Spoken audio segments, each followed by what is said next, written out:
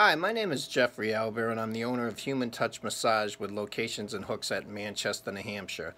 I've been using MassageBook for a little over a year now, and I consider it one of the best things I've done for my company, making it so my customers can easily book online. And one of the features I like best is the way it integrates both locations into one personal calendar. I would highly recommend MassageBook for anybody in the massage business.